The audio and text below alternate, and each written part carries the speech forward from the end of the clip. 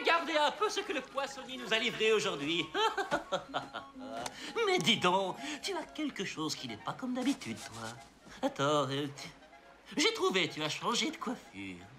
Tu t'es fait un brushing avec le pic-pic, c'est ça? Non? Non, euh, euh, voyons voir. Tu as un nouveau collier? Non, tu n'as pas de nouveau collier. Je donne ma langue au poisson-chat. Mais si j'ai deux ou trois heures pour Elle a des jambes, tête de buse Elle a donné sa voix à la sorcière des mers contre des jambes J-A-M-B-E-S Ça, je le savais. Ariel a pris une apparence humaine.